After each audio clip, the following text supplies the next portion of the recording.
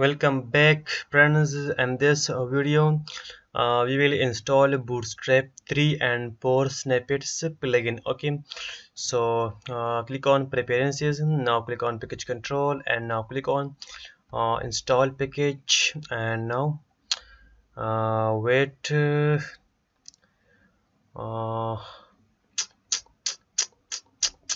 so now click uh, now search here for bootstrap 3 auto complete okay uh, basically bootstrap auto complete uh, um, is a drop down when we click, uh, create uh, any class then all the bootstrap classes as uh, appearing okay?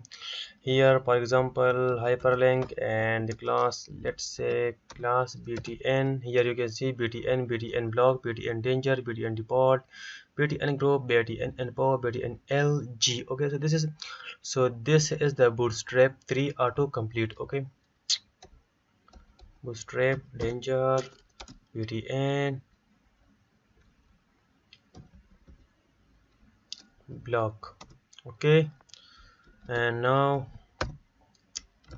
div class alert. Okay alert info.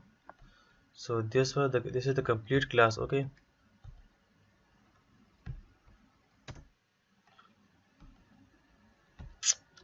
okay alert. And we try it for install package for bootstrap 4 bootstrap 4 autocomplete okay? This one. Click on this one.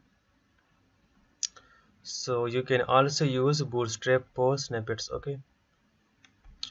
I don't know how to use bootstrap 4 but let's get try btn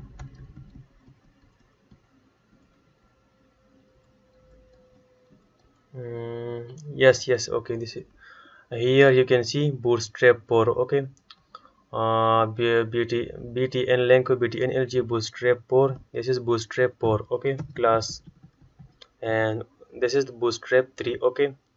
So the use is uh, same.